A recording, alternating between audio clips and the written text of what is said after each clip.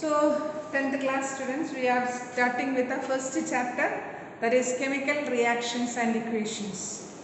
In this chapter, what we are going to study is how what is an equation, why should be uh, how to write an equation, then after writing the equation, how to be balanced, then why should we balance a chemical reaction, etc.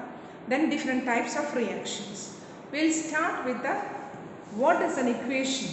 Actually, what is an equation?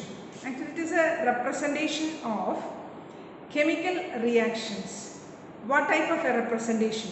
It is a quantitative representation. Means a equation will give you all the informations you want. That is the reactants, the products, how much reactants are reacting, under what conditions it is reacting. Everything will be shown in a chemical equation. So, it is a quantitative representation of a chemical reaction showing all the reactants and products in the state.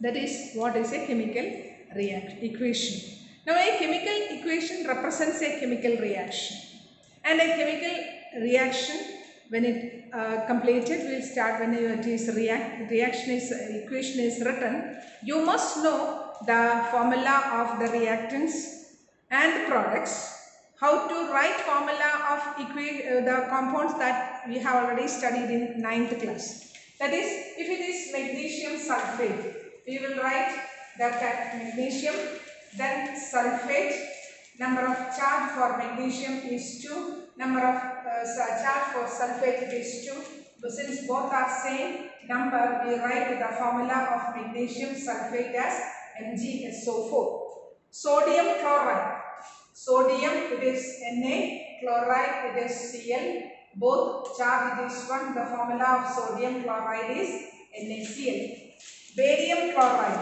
it is Ba barium chloride Cl barium it is 2 then chlorine it is 1 so it is it is BaCl2 that already we have studied in our uh, ninth class. Now we are going to study is how to write an equation if you are given the reaction. Suppose zinc reacts with sulfuric acid to give zinc sulfate and hydrogen. Zinc reacts with the sulfuric acid reacts with the sulfuric acid sulfuric acid sulfuric acid to give zinc sulfate and hydrogen to give zinc sulfate zinc sulfate and hydrogen and hydrogen. This is the reaction given and now first how to write the, the equation? Which are the reactants in this reaction? Zinc is reacting with the sulfuric acid. So our reactants are zinc and sulfuric acid to give zinc sulfate and hydrogen. That means the products are zinc sulfate and hydrogen. So now we know the reactants and products. Reactants are zinc and sulfuric acid and the products are zinc sulfate and hydrogen.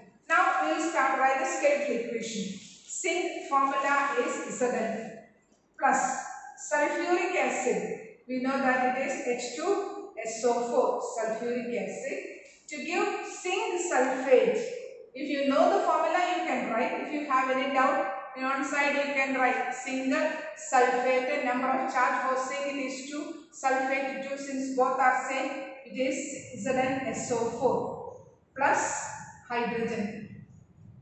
Now it is written. Now we have to balance. How to balance this equation? Write number of atoms in each side. Zn 1, hydrogen 2 sulfur 1, oxygen 4. All reactants we have written. Products zinc 1, then hydrogen 2, sulfur 1, oxygen 4. Now you see, here in this equation all the numbers are the same. So that means the equation is already balanced. Now what we will do is, so it is a balanced equation now. Now we will have to write the state of the substance. Zinc is solid in state. Sulfuric acid usually it is an aqueous solution. So we will write it as aqueous. Then zinc sulfate is, will be also in dissolved state. So we will write it zinc sulfate aqueous. And hydrogen is a gas. So we write H2 gas. So this is how we represent this reaction. Zinc reacts with the sulfuric acid to zinc sulfate and hydrogen. This is the complete representation of this reaction. Now another reaction. Calcium reacts with uh, calcium oxide dissolves in water to form calcium hydroxide. Calcium oxide, calcium oxide, oxide reacts with water, reacts with the water to form calcium, to form calcium hydroxide, calcium hydroxide. Hydroxide. Now again we will identify the reactants and products. Reactants are calcium oxide and water. Product is calcium hydroxide. Calcium oxide. Formula CaO. Water H2O.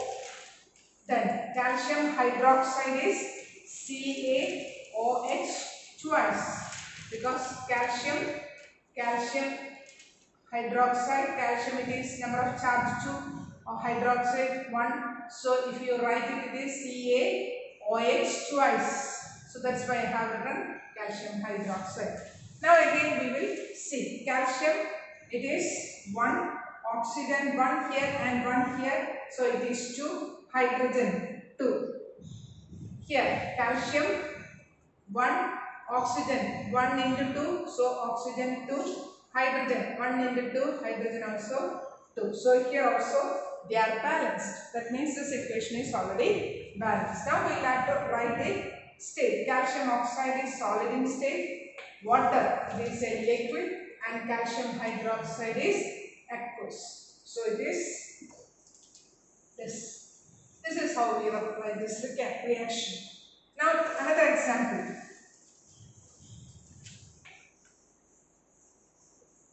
Iron reacts with the steam to form iron 2, iron 3 oxide and hydrogen.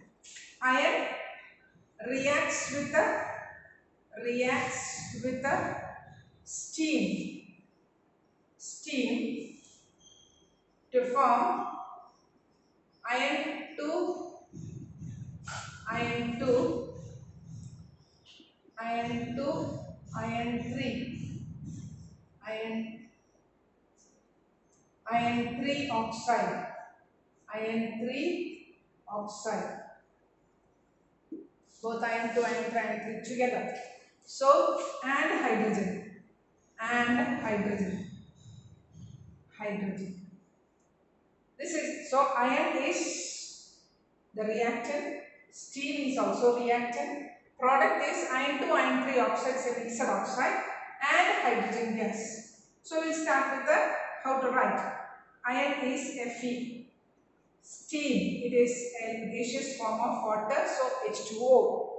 To form iron 2, iron 3 oxide. Iron 2 oxide, FeO, Fe is iron 2, oxygen also 2, so here it is FeO. Iron 3 oxide, FeO, iron 3, oxygen 2, so it is Fe2O3. So FeO and Fe2O3 together we can write Fe3O4. So we write it as here Fe3O4 plus hydrogen.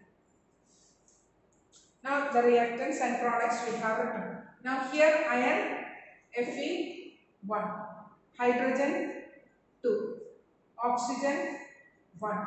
Here iron 3, oxygen 4 hydrogen hydrogen 2 now here only one iron here 3 iron so to make it 3 we'll write multiply this iron with the 3 so 3 Fe hydrogen here 2 there also 2 so hydrogen not balance no need to balance oxygen here 1 there 4 that means we will have to take four water molecules. From one water molecule we get only one oxygen, so four water molecules. Now here 4 into 8 hydrogen, so here 8 hydrogen now. The only 2, so if you take multiply this by 4, 4 into 2 it will also become 8. So now you see all are balanced. Iron is now here also 3, there also 3, here 4 into 8, 8 hydrogen, 8 hydrogen here, 8 hydrogen there. Then oxygen 4 here, oxygen here also 4. So now it is balanced. Now we will write the state of the substance. Iron we know that it is solid in state. Now water it is steam. So you have to put gaseous. Fe3O4 also solid and hydrogen is a gas. Now this is a balanced equation. Okay, now examples and uh, how to write more more examples I will send you by uh, your uh, WhatsApp. So complete all those balancing.